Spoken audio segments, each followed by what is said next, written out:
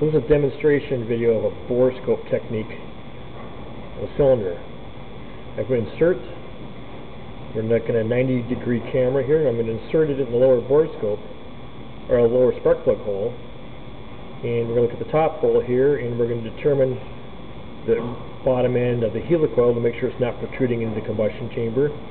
And we're looking at it to also see that we don't have any cracks running out the periphery area here that are radial from the center point of the bore.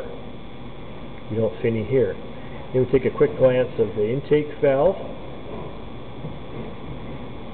and note that it's complete. There's no cracks or chips on it. The seat's complete in the head. And we look at the exhaust valve and comment on is the debris pattern uniform or is it oblong? Has it got hot spots or say discontinuities in it where it's not uniform around its perimeter? And you know, if you see areas like uh, the flecking that's here that's dark and light, that it's uniform around the perimeter. Oftentimes it's a subtle thing to see when change starts to happen on this, and if we're proactive and looking this and commenting what we're seeing, uh, we can make an accurate future assessment if we're going to borescope again in 50 hours and make suggestions like perhaps we need to do a valve lapping or something like that because the valve is warped or the guide is worn or something like that.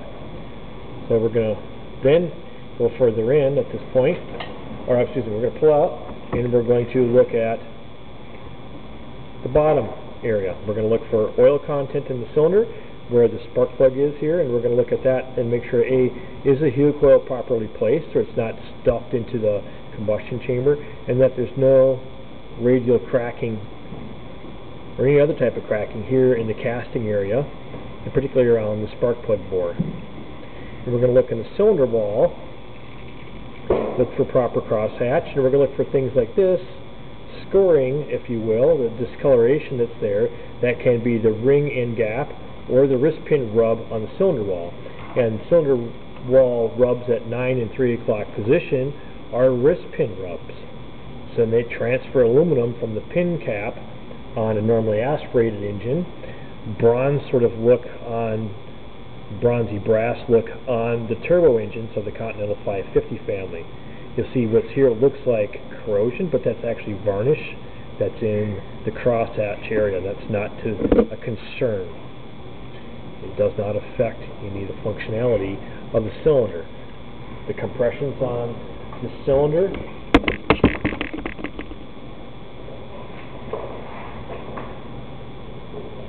the master orifice was 48. The compression on this cylinder was 60, 76 out of 80.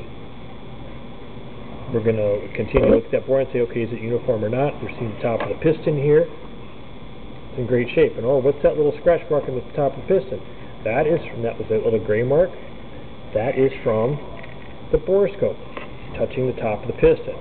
Nothing to be concerned about. Let's see if we can re-show this again.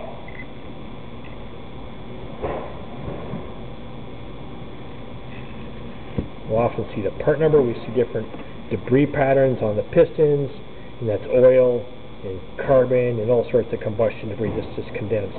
And that's a scratch from the end of the borescope just touching the piston. Now for the carbon buildup that's there, combustion debris. Now we'll come back and we'll take a look, we'll watch the valves move. We want to see that they go back into the seats nicely. So we're going to just observe which one moves first between the intake exhaust.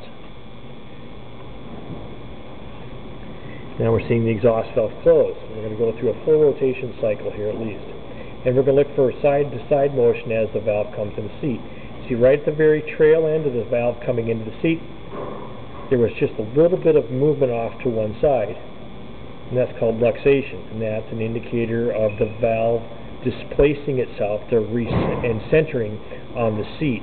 The seat is obviously fixed and the valve is motion there. The seat is that crescent between the valve and the cylinder head. Now we're going to watch the valves here further move. To rotate the prop backwards so I don't hear the impulse coupling smack. Now we see the intake valve opening up. Intake valve opens up. We're looking at the stem here, and we see the stem exit of the valve guide, and we see that there's very little oil that's built up there. There's a bit of varnish on the valve guide of the valve itself, and there's no oil leaking. This is a low low pressure area, and what we see, would see is oil being sucked into this upper intake area.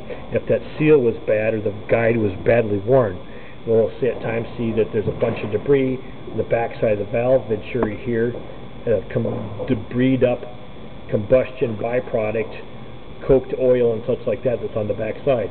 We see here the seat contact area, ring, matches the valve in cleanliness. Very nice, there's no debris. The valve runs cool because there's cold air behind it. We're going to watch this valve come into place here, come back in the seat.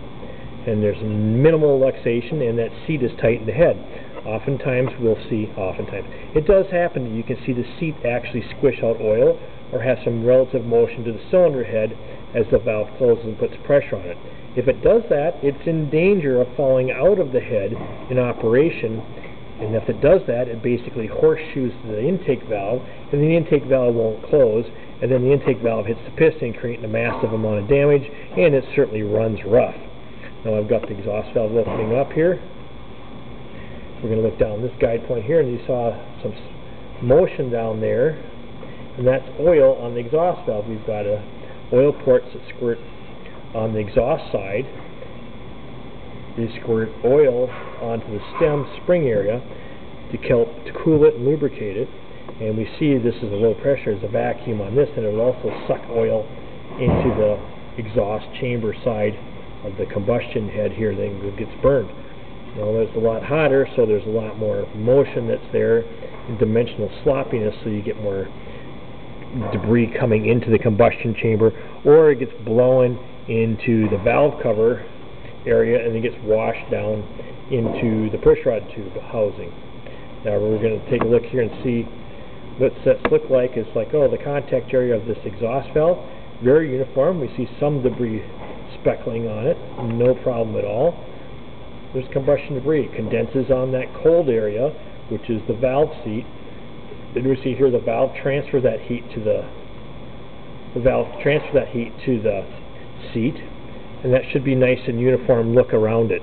Sometimes we'll see flecking in like a tortoise pattern there, but that's that's normal. And of course it depends has the engine been run excessively rich or excessively cold, things like that, and then the debris, combustion debris builds on it. So we're looking at here is the valve going back in the seat. We're looking for that luxation or movement of it see there's a little bit of luxation and there's no the relative motion of the seat to the head, but we see that there's some motion that's here. A little left to right action that's there. It's not very uniform. Okay, so that completes the borescope inspection survey of a cylinder.